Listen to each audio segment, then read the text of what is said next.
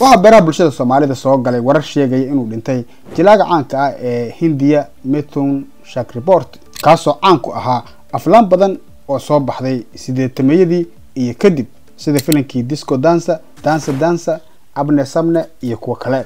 Haddaba maxaa dhacay? Mithun shakribort waxaa ku dhacay faalig keenay in la dhigo isbitaal gaar ah oo ku yaalla dalkaasi hindiya.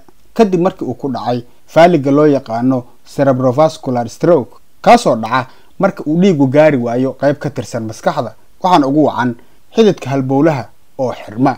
Mitum oo lagu daweeyey isbitaal gaara oo ku yaalla magaalada kolkata ayaana imika saxaafadda la hadlay. Waxaanu sheegay in dhibaatadu ay ka soo gaartay cunto xumo isagoo xusay inuu aada u cuno cunto aan caafimaad qabin. Mitum ayaa yidhi waxaan wax u cunaa sida shaydaan.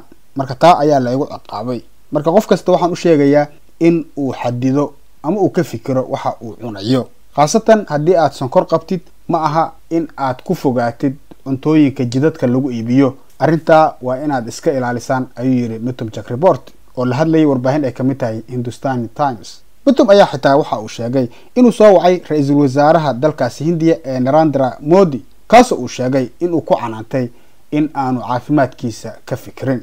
Jilaagan ruug cadaag ah ayaa isbitaalka loola cararay sabtigii hore kadib markii uu ka cawday xanuun aada u ba'an oo dhinaca xabadka ah. Sida lagu qoray medical news today waxaa mitum lagula taliyey in uu bato cuntooyinka loo yaqaano kuwa mediterraneanka ama mediterranean diet taasoo la sheegay inay u wanaagsan tahay ka hortaga faaliga iyo wixii la mid ah.